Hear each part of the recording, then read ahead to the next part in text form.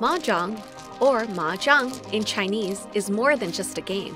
It's an iconic symbol of Chinese culture known worldwide for its blend of skill, strategy, and luck. Despite being over 200 years old, the game still captivates players across geography, ethnicity, gender, culture, and generations, making it a connector for many diverse groups.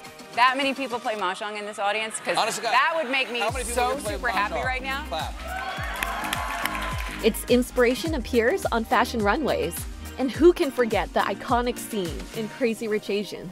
And if he chose his family, he might spend the rest of his life resenting you. The multi-sensory game is played with a set of 144 tiles, marked by three different suits, namely Chinese characters, dots, and bamboo. Additionally, there are special tiles like dragons, winds, and flowers. Players take turns collecting and discarding tiles until they achieve a winning hand of 14 to 17 tiles, with various combinations of triplets and runs. Mahjong's rich history is as fascinating as the game itself. Inspired by draw and discard card games that were popular at the time, it emerged in China's lower Yangtze Delta region in the mid to late 1800s and quickly became popular with the Qing court. The game also found its way into courtesan houses where men played while conducting business negotiations. Eventually, it landed in Shanghai, where cultures were intersecting in the city's international settlement. Mahjong caught the attention of foreigners who used it to cross the cultural divide. However, as it was often employed as a vehicle for gambling, it was frowned upon and even banned at times in China. Mahjong's introduction to the West is equally captivating. In the 1920s, Joseph Park Babcock, a Standard Oil executive who had worked in China and enjoyed playing the game, created a company to export mahjong to America.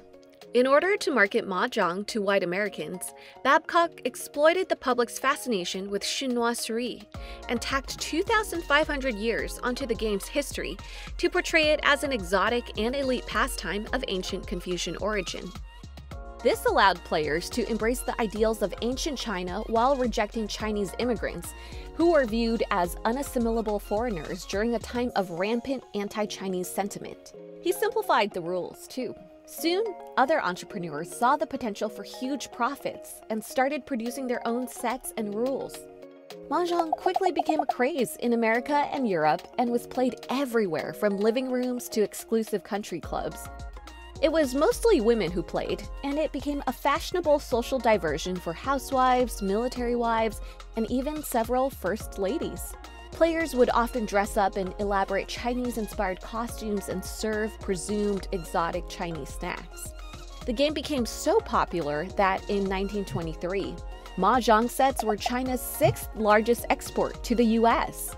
Congress even imposed a tax on the imported sets and global prices for cowbone used to make the tiles skyrocketed.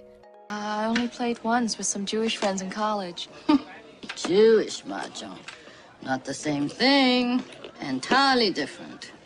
Perhaps more than any other non Chinese group, Jewish women adopted the game as their own. In the 1930s, four Jewish American women formed the National Mah Jongg League, standardizing the game by publishing uniquely American hands and rules differing somewhat from the traditional Chinese ones.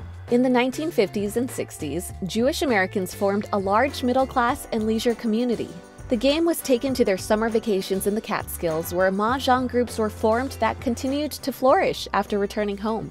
To this day, the largely Jewish National Mah Jongg League issues a new rule card every year. For many Asian Americans, playing mahjong meant embracing their roots while being part of an American fad.